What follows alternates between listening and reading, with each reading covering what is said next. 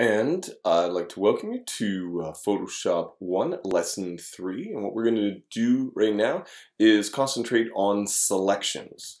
So we are going to fire up Photoshop. We're going to we're going to reset all of our windows again. So I'm going to hold down Command Option Shift for the Mac and getting actually I'm just going to get ready to press them down. I'm going to click and hold down.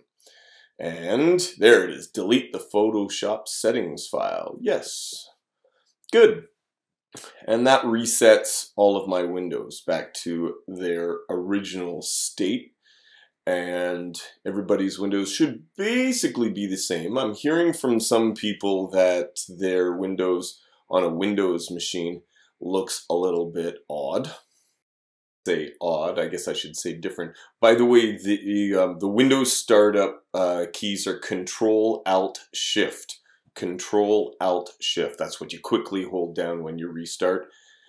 If that still doesn't work for you, in actual fact, you can go to Preferences and reset the preferences on uh, when you quit and then quit everything. Okay.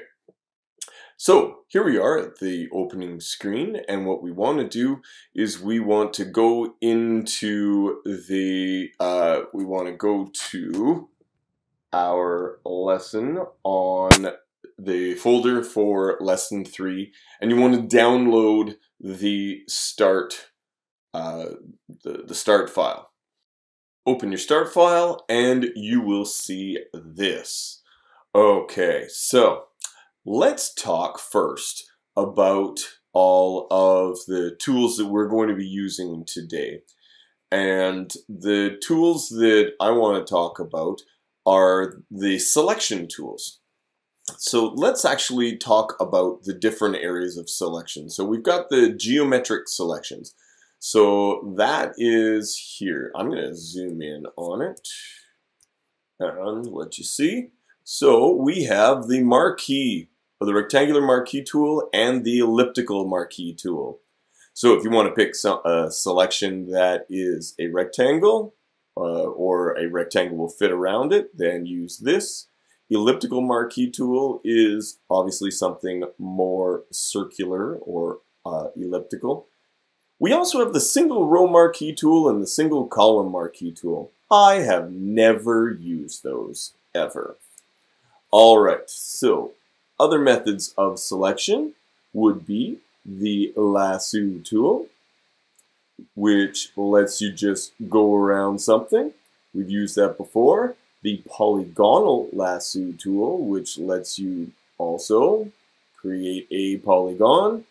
The magnetic lasso tool, which will, as you go around, stick to edges. It's very cool. And then the last two types, uh, those were freehand selections. Last two types is an edge-based selection, which is the quick selection tool, and the magic wand tool. Something brand new in the 2020 um, version that was not in 2019 is the object selection tool, and I'll show you how awesome that is in just a second. All right, so the first thing that I want you to do is we are going to save this as a working file. Pick Save As. This thing right here uh, is new. We're going to say Don't Show Again and Save on your computer. Unless you happen to have uh, the need to want to save the cloud documents or whatever, uh, maybe with your Adobe ID, I don't want to. I'm going to save on my computer. I'm going to change this to working, O3 working. I'm going to go into my Google Drive, ComTech, Photoshop 1, and I'm going to save it in here. And then my Backup and Sync app will upload that. So let's zoom on in. That's Z. And I have the scrubby zoom turned on right here. So I am clicking and dragging inwards. Another way, I'll go Command 0 or Control 0 in order to go back, if you have the scrubby zoom turned off, and with the zoom tool, you can actually just draw a box around the part that you want, and boom, it zooms on in. Hold down the space bar to move this around. You automatically get the hand tool when you hold down the space bar. Great. Okay, so we want to select this sand dollar. And what I want you to do is I want you to select the quick selection tool. That's this guy right here, quick selection tool, and make sure that enhance edge is turned on. Then in an area that is kind of off-white, I would say around here, just click once. Boom.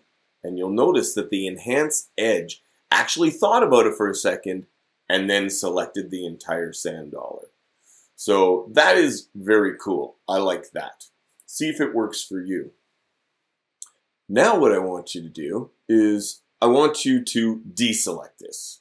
Okay, so that's Command D on a Mac, Control D on a PC. So Command D, I deselected it. And it's not in the instructions, but I want you to try this object selection tool. The object selection tool lets you click and drag around an area, and then it just uses artificial intelligence to pick the edges. And it takes a little while and thinks about it and does all of its calculations, and it's got it. Awesome you will notice that this is pretty good for picking people. Uh, we I've been using it uh, a lot lately, and when you want to select a person, this is way better than the other selection tools. So I'm loving this new thing. Okay, very nerdy statement to make. Let's move on. So what we're going to do is I'm going to move this. So let's go Command Zero and or Control Zero, zoom all the way out.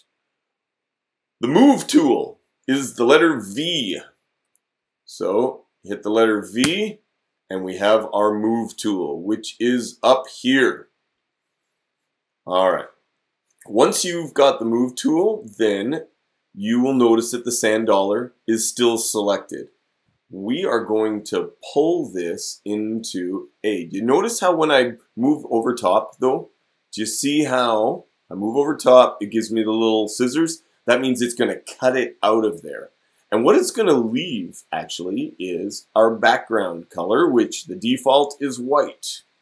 So, going to click and drag and pull this right up here and let go. See how it left white in the bottom? If our background was unlocked, it would leave a transparent background. All right. And then what we want to do is we want to uh, deselect what we've got. Command D or Control D or go to select and say deselect. Awesome. Good job.